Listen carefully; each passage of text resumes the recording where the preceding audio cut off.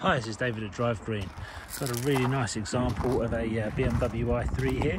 It's a 120 amp model, so it's got the larger range. Uh, it's on a 69 plate, and obviously it's got the, uh, the the facelifted front, so it's got the blade lights instead of the round lights. Um, but a really nice example. This it's in the classic sort of black and white colour and it's also got the uh, the five spoke alloy detail as well which is really really nice.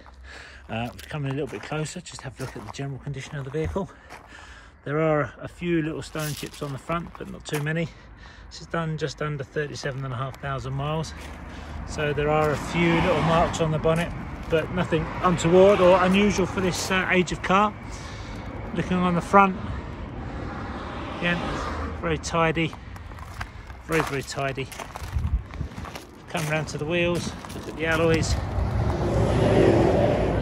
No marks on that alloy there. Really really clean. No marks on the wing mirror there. And just looking down the shadow lines of the car there's there's no dinks there's no ripples. It's all very very tidy. Come on to the inside.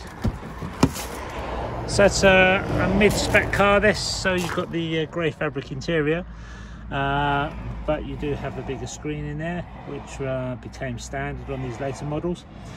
Um, you've also got a few accessories on here. It's uh, it's a pretty nice spec car as you'll see in the details uh, on our advert. But condition wise yeah very tidy. Got the mats got the extra cup holder in there as well which some don't have. And yeah door detail. It's all clean and tidy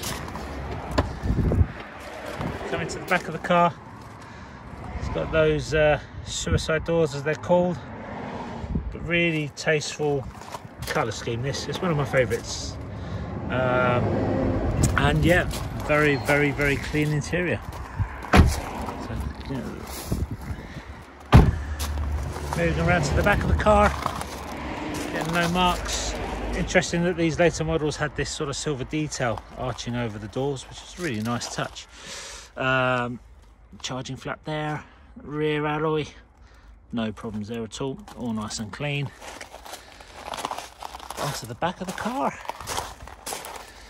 Yeah, it's nice, clean lines on these i3s. Quite a design classic, really. I think they'll go down as. We open the boot. Not the biggest boot, but it's a very square, practical shape. And you do have the benefit that the seats in these do fold completely flat as well. So that does really largen the uh, load capacity. One area where the i3s do suffer a bit is scratching on the back trim. And this has got a few scratches there just to make you aware. Um, all our cars come with a three pin charging cable. We can offer public charging cables as well for a small extra fee uh, just uh, talk to the uh, sales guy when you're when you're on the phone also got the reversing camera on this model as well, which you can see just there. Uh, in terms of marks on the back, apart from the scratches on the low lip, no at all. Onto the rear haunch of the car and also just coming down the side. Again, no dinks of any kind. Really tidy, really clean. Looking at the alloy on the back, no marks at all, very tidy. Coming around the car,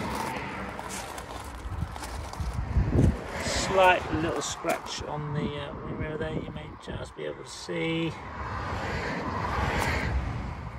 Coming down the side and onto the wheel. Again no marks on here. Just really clean really tidy. As I say that uh, design of alloy especially on the black and white car really does make it stand out well.